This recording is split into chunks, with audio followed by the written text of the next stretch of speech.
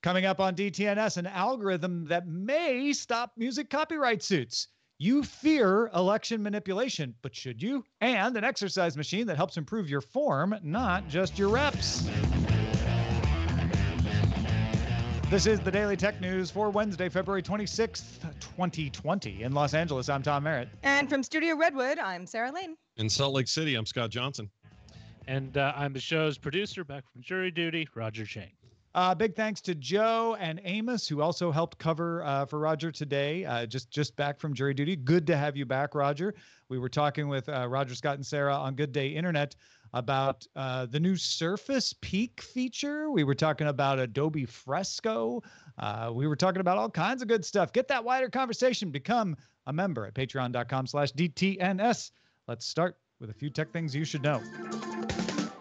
Foxconn is getting advice on virus prevention from Zhong Nanshan, who is credited with finding the correct way to treat SARS 17 years ago. Zhong was recently appointed head of China's National Health Commission investigation into the COVID 19 virus outbreak.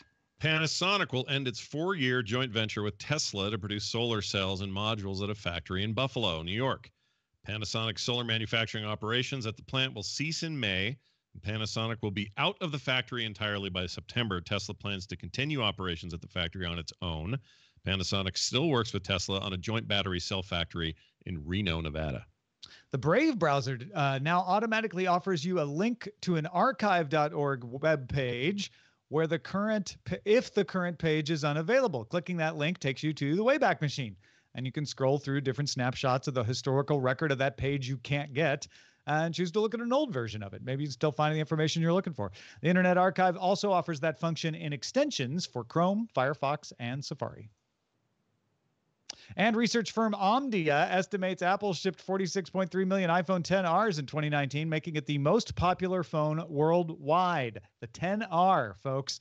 Rest of the top five in order was the iPhone 11, Samsung Galaxy A10, Galaxy A50, and Galaxy A20. Xiaomi's Red Note 7 was the highest shipping phone not from Apple or Samsung. It came in at number eight. All right, let's talk a little bit more about a uh, report on the Tesla crash that happened March 2018. Sounds good. The national, uh, excuse me, the U.S. National Transportation Safety Board announced Tuesday that on March or a March 2018 fatal crash of a Tesla Model X SUV was caused by a combination of Tesla's autopilot operating in conditions it couldn't handle and the driver's being distracted by a game on his phone. Uh, oh, I saw something like this yesterday on the on the road. Anyway, the SUV hit a concrete barrier at high speed, killing the driver. A cushion at the end of the barrier had been damaged uh, in a previous crash, and if replaced, might have saved another driver's life or this driver's life. The board made nine recommendations, including Tesla prevent autopilot from operating in conditions it was not designed for and create a more effective method of ensuring driver attention.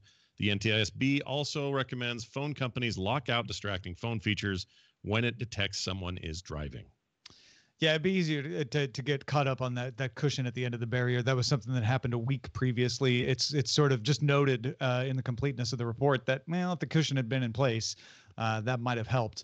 But they really are pointing the finger, and there's more pressure on Tesla now to take more responsibility for autopilot uh, because its misuse is causing these kinds of accidents. Now, granted, this driver was not paying attention. Uh, mm-hmm. Uh, and if they had been paying attention, presumably they would have been able to take control of the car uh, and slow it down. But what, what happened was the autopilot did not detect the barrier, uh, possibly because of the sun, uh, but because the, the lane markings were faded. Uh, that they were unsure of, but it definitely malfunctioned. And, and the pressure is now on Tesla to, to, to not have autopilot operating and, and somehow do more to keep drivers from being distracted. I'm not sure how much they could be expected to do. I mean, really, besides yanking autopilot as a feature altogether. And we've talked about the idea that some people are like, it's just too dangerous. People aren't going to take it seriously, or there's going to be, you know, little things that happen here and there. You know, and Scott, you mentioned there was a center divide thing that, you know, happened near you. It's like these things do happen, especially if there's construction that, you know, the computer software in a particular car, you know, gets confused. It is dangerous. I mean, the person who is distracted by looking at their phone in autopilot mode, also to blame. That person is no longer with us. So it's kind of hard to know what happened in those in those moments. But I really do wonder, I mean, how much pressure how much pressure gets put on this very cool technology that in theory people are like wow autopilot very cool how, how much uh, does it uh, does it end up rolling back because it's just not safe Sure. I, I, and also, I actually have this question, Tom. Do you think that them making that recommendation that phone companies look for ways of maybe if they can detect that you're driving, turning off games, turning off features of a phone that would otherwise distract, think that gets any traction? They respond. No, because you can always, you know, the carriers will always uh, rightfully say, like, well, if you're a passenger, you should be able to make use of these features, and there'll be a way to say I'm a passenger, and there's no way to detect if that's true or not. Yeah. Good yeah. point. Clearview AI, uh, maker of facial recognition software, we talked about on the show quite a bit, disclosed to its customers that an intruder gained unauthorized access to its list of customers, the number of user accounts that those customers had set up, and the number of searches that those customers had conducted. Now, Clearview said that the company's servers weren't breached, they weren't compromised, vulnerability has been patched and the company also said, because of course this this is sort of the hot button issue, law enforcement agencies' search histories were not accessed. Other information, but not exactly what the police were doing, except maybe the names of uh, police organizations that previously weren't known to be working with Clearview. The company's customers are mostly North American law enforcement agencies in Canada and the US. Clearview scrapes images from the public web and then uses associated data to train an algorithm to provide possible identity matches. Yeah, I, I mean, you got to take you got to take a, an honest view of this, folks. Uh, this is not the worst data breach that has happened this week, but it's getting a lot more press because it's Clearview. And a lot of people are trying to make the connection of, I don't like Clearview AI using facial recognition. Therefore, I'm going to make the connection that they can't even protect their data. Uh, they should be banned. And even if you don't like Clearview AI's use of facial recognition, I'm not sure this follows. Uh, it wasn't a server access. They didn't lose the images. The images are all public anyway. Uh, at worst, this will embarrass law enforcement agencies or reveal law enforcement agencies' tools uh, to people who wanted to know about them. Yeah. It's not a lot of other sensitive information here. The number of searches isn't terribly useful. It's not that it's not useful at all, uh, but I feel like the only reason this is getting the type of headlines it is, the type of coverage it is, is that people don't like Clearview's use of facial recognition. We've talked about that separately on DTNS about, you know, how to form your opinions about whether this is a good idea or not. But this kind of data breach, sad to say, is fairly mundane and limited in its damage. Hmm. Do you do you uh hmm. I mean, this is a bit like if my local grocery store lost my information because I use a frequent buyer card there versus some big national chain. They're just getting more attention because they're bigger and or it's closer to. Well, it's it's because of facial recognition. Facial recognition sends a lot of people into irrational paroxysms. Uh, it sends some other people into very rational objections.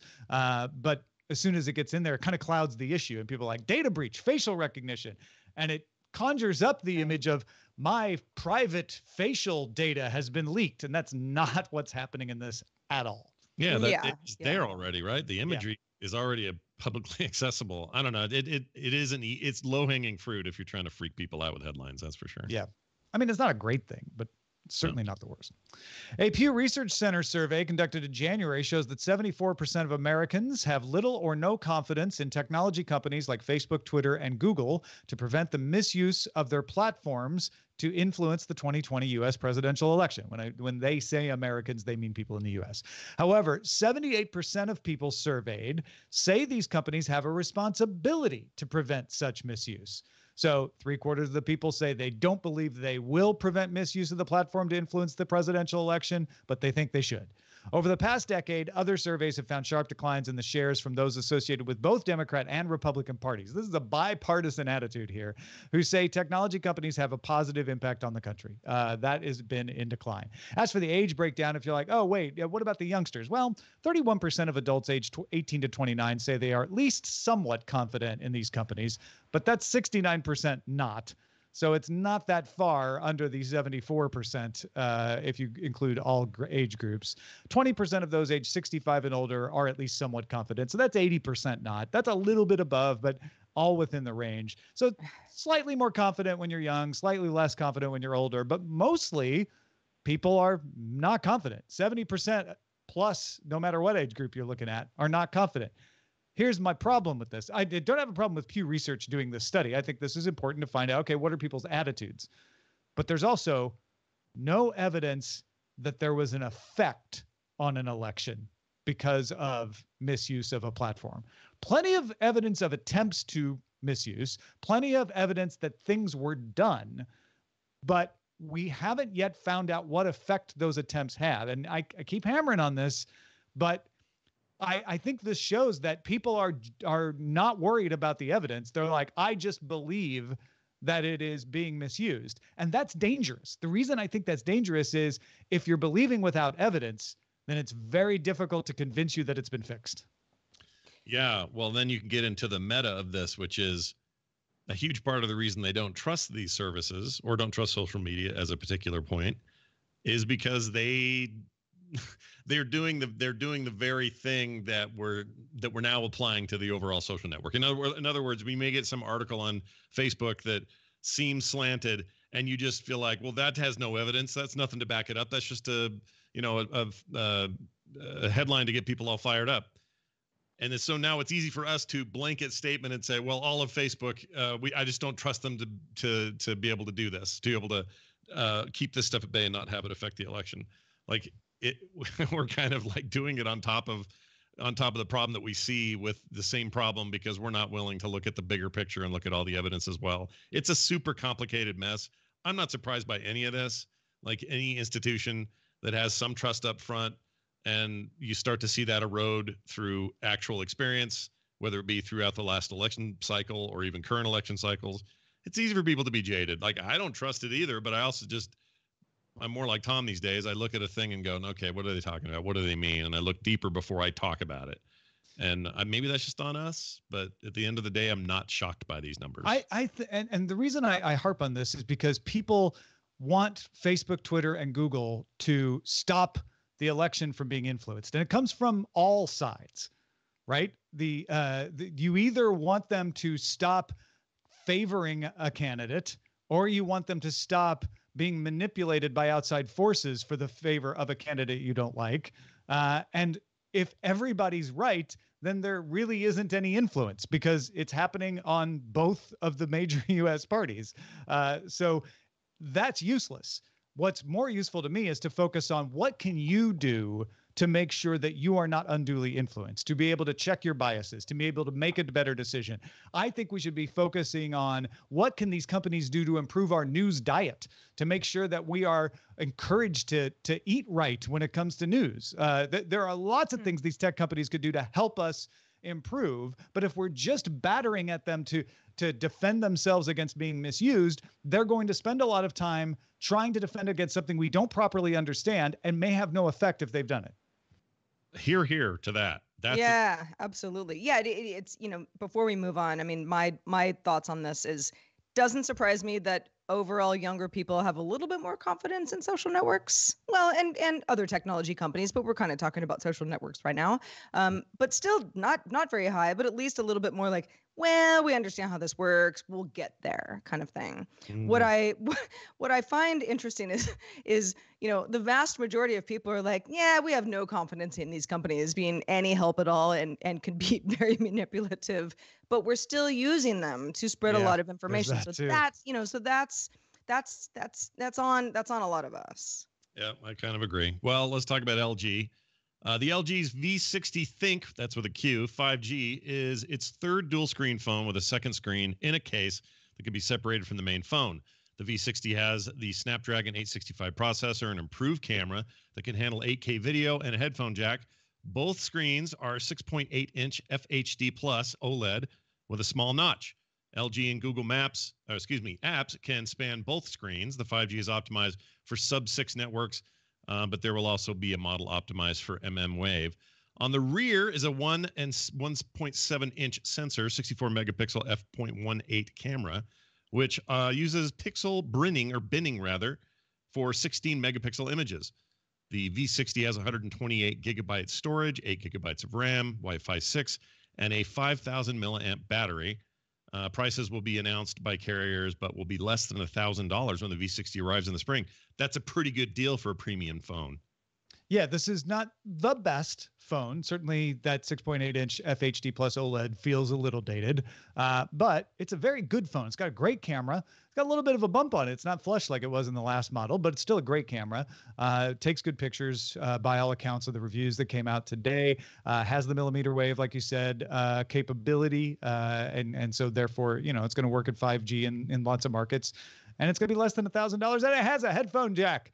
I know it has a notch, so it's not the perfect phone for the uh, for the discerning uh, phone. I feel uh, like people want a Luddites, but headphone jack more than they don't want a notch. I don't know that they really want either because they keep buying phones in large amounts that have neither. But Sure. people say they want these things, And not only that, LG's it- listening. Yeah, and they keep buying. That's true. They buy the phones, but they have neither. But they're also very busy upping the wearable market and buying, you know, portable headphones and earbuds and things at a rate that I, I kind of think the predictions that that stuff was going to phase out anyway is kind of true. I think the days are limited. It's going to be soon where hardly any phone has that headphone jack, but the Tempo will have it. So, You mean the uh, V6? I mean, sorry, the the V6. The V60. Thank you. Thank you very much, LG, for your headphone jack. We appreciate it. Uh, remember when we were all like, "Is it Think or Think Q?" Oh, was it? Is it Think Q or Thank you. I yeah. think it's Think, yeah, because there was a um, there was a, a, a LG had an announcement and somebody said "Thank you" at the end, and we were like, "Oh, Mhm. all right, that was very clever." Uh, speaking of Tempo, Scott, Tempo is a 42-inch HD touchscreen with Microsoft's Azure Kinect camera inside to track your exercise form while you take live streaming classes. So, as you follow the on screen instructions in strength training, cardio exercises, yoga, stuff like that, dots on the screen plot your movements, and then instructions appear to help you perfect that form.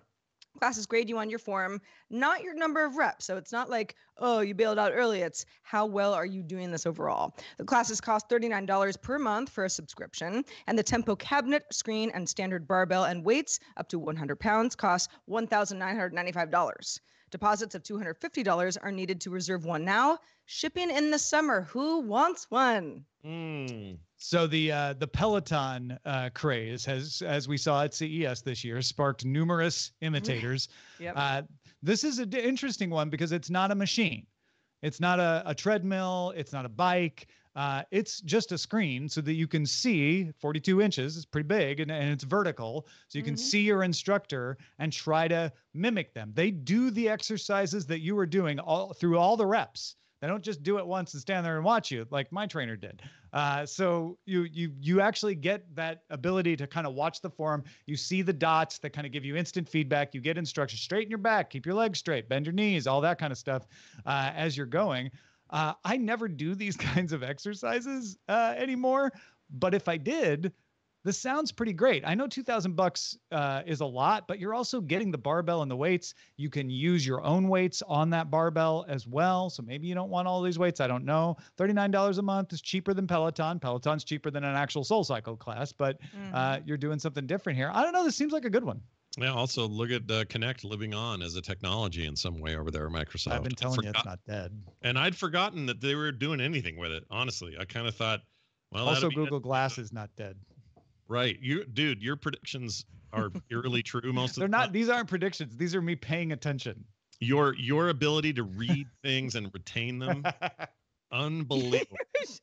you predicted them so long ago. They're just coming true now because you're a mm. genius. right. No, that I-. As somebody who I don't currently have a gym membership, this is going to be a problem if I don't address it soon enough. But I do work in where I am. Studio Redwood has a, a, a plenty of space to kind of put Sure, together yeah, a yeah. home gym.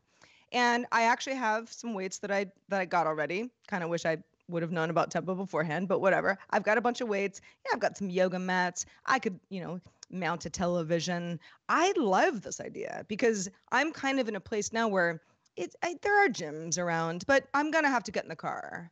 Uh, and that wasn't always the case before. And so just having something where I could like, I just got a really good workout and I have to leave the house uh, makes a lot of sense. And 40 bucks a month for something that is a subscription is going to be, I mean, leaps and bounds better than anything I'm going to get at 24 Hour Fitness. yeah. You won't get all the machines you got there, but you do No, get this. No, and the- but and- and yeah, if people you want to be disciplined, I think it, I think this is cool. you don't mount this. It sits in a corner and it you store your your weights in it. Uh, so it's really space efficient too. Hey, folks, if you want to get all the tech headlines each day in about five minutes, be sure to subscribe to dailytechheadlines.com.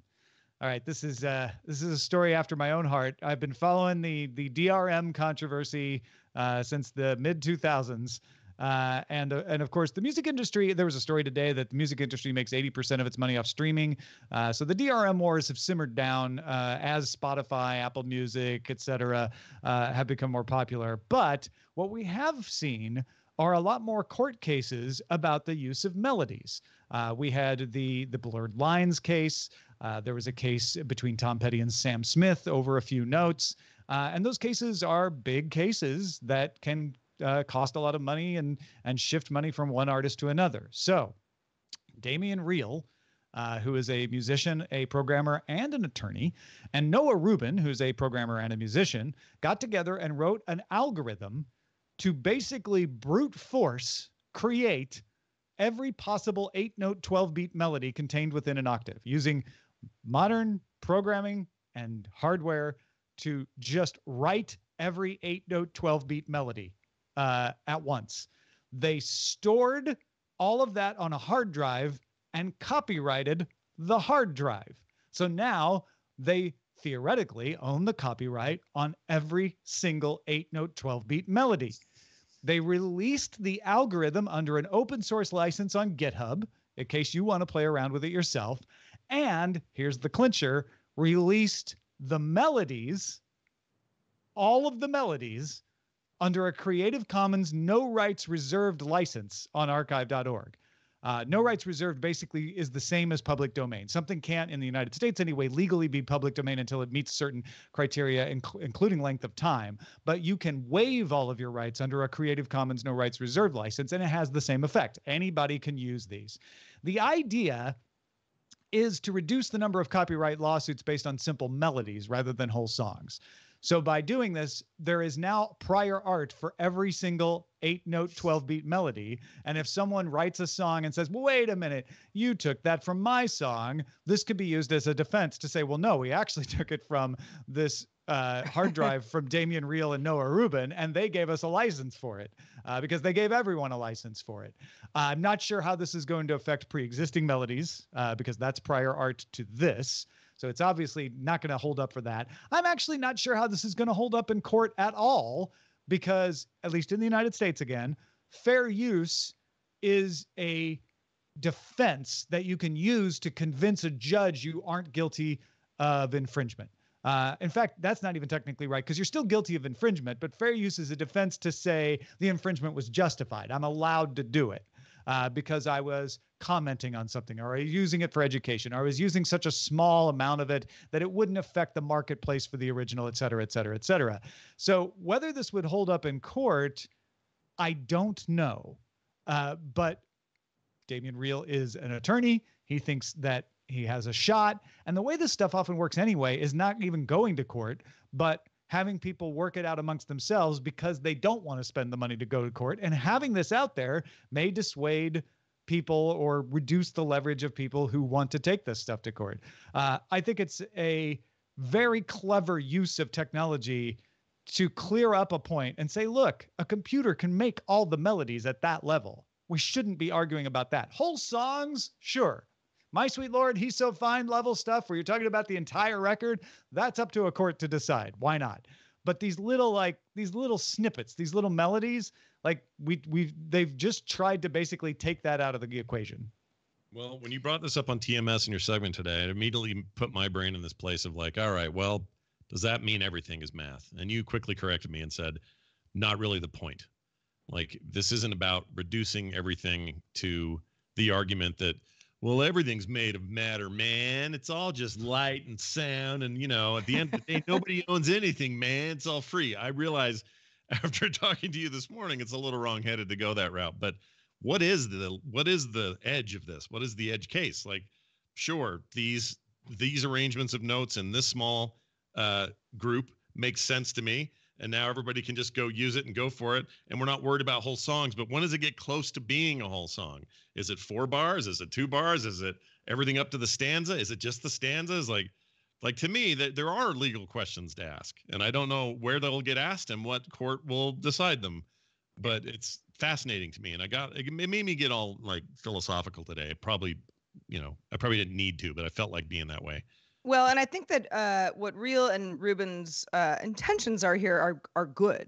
That said, I can see an artist being like, "No, this is just a place for someone to hide once they rip me off." You know, my song, sure, there's, you know, it, Oh, sure. top, you know, uh, number one on the Billboard 40 for, you know, 10 weeks. And now they can just say, well, it's just part of some open source thing. Uh, so I, it's, I don't know. I don't know how I feel about this. I think I think it's very clever. I don't know how much it's going to to to help artists um, uh, who are battling against other artists in the future. But I hope we hear more about it. Yeah. Yeah. And there are some limits. It's only one octave. Uh, it's not every melody possible. It's every combination. There's a, there's a, there's a few nuances to it, but essentially, uh, they're they're just trying to take this level out of the conversation. And I'm curious to see if it will work or if it will just stand as a instructive stunt uh, that that helps Mm. us understand better how this all works. Uh, it could go either way. It probably is going to be a little of both. What was it? 600 gigabytes of uh, or so of data. Yeah, when I looked at the uh, when I looked at the archive.org, it was something like that. I love that. That's amazing. Well, another thing we can't predict yet is what will be at the top of our subreddit tomorrow. You can submit stories and vote on them at dailytechnewsshow.reddit.com. You can also join in the conversation in our Discord happening right now. It happens 24/7. Great group of folks in there. You can join by linking to a Patreon account at patreon.com slash DTNS. All right, let's check out the mailbag. Oh, let's. Mike in Dusty Riyadh, his words, says he was struggling with the laptop or tablet debate that we had on last Friday's show. Uh, Mike says, My laptop, 2017 HP Spectre X2, had a battery that was starting to explode, so I needed something to replace it ASAP. I like Windows 10. I want my full keyboard. I want my touchpad. I agree that multitasking is easier in Windows. However, the contrast in price between a Surface 7 and an iPad Pro with 512 gigs of onboard storage had me seriously considering going for the iPad. One key reason my workplace Office 365 account only lets me ex- access my work files or apps through a web browser, meaning I need an internet connection to work on the go. Between public Wi Fi paranoia, not wanting to burn through data tethering, this is a huge inconvenience for me. In contrast, I can access all my apps with biometric authentic- authentication on an iPad. It's great being able to take notes in OneNote, just go home, have it sync up over my home network, or work on a document on a plane and save it to the cloud later. Mike does say, I ultimately went for the Surface, but I don't know if I'll do a Surface 9 or 10 when it comes time to replace this guy. Yeah. Uh, I, f- I so identified with this where you're like, man, this could work. It might be better.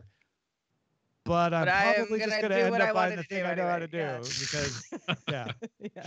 You know what? That's funny because of the exact opposite experience when I was in the market for moving up to the next whatever version of a drawing device I was going to get. And I was like, well, how's the Surface these days? Let's give this a shot. And I ended up going with the iPad again because in that particular use case, same deal. You're just going to be in a better position. And he just happened to be in a in a place where that's not a great solution. I, I think this makes perfect sense. And he went the right way. Yeah, I do appreciate you, Mike, for being like, you know what, though? There are some limitations with the choice I made. I know what I did, and I Mhm. did it willfully. So uh, we hope you enjoy your service. Uh, let's also thanks uh, thank our patrons at our master and grandmaster levels, including Dan Dorado Hankins, John Johnston, and Chris Smith. Last but not least, thanks to Scott Johnson for being with us today, Mr. Frog Pants. Where can people keep up with what you're up to? Well, all of it is at frogpants.com, and uh, there's a lot of stuff, cool stuff going on. In particular, I am been harping on this for a few weeks, but it's because I'm proud of it and I'm really happy about how it's going. So if you want to see the latest comic strip that I launched and I'm in running right now, you can check it out. It's called Fred and Can. It's available linked right there at the top of frogpants.com as well as on its own page at frog, uh, excuse me, fredcancomic.com. And uh, let me know what you think of it. Send me your feedback and uh, tell me what you like, what you don't like, that sort of stuff. I'm very, very proud of it right now. Uh, and you can follow me on Twitter. I'm over at Scott Johnson as usual. Hey, folks, uh, we're getting near the end of the month, and that is a time when uh, we're especially thankful to all the patrons who stick with us because we know sometimes it gets a little tight and you realize that next charge is coming and you might want to cut back. Uh, so we always uh, hope that we get some new folks in for the new month. Uh, two dollars is is the the base subscription to get ad free, uh, get special bonus episodes, get all the inside information on the show. If you're looking at two dollars and thinking like, yeah, you know, I could waste that on a candy bar or something, or I could give it to Daily Tech News Show uh, and help the show get better, uh, we'd love to have it. Patreon.com slash DTNS, and you help keep us strong. If you have feedback for us, well, have I got an email address for you? Feedback at dailytechnewsshow.com. Write us early and often. We're also live Monday through Friday, 4.30 p.m. Eastern. That's 2130 UTC. And you can find out more at dailytechnewsshow.com slash live. Back tomorrow with Justin Robert Young. Talk to you then.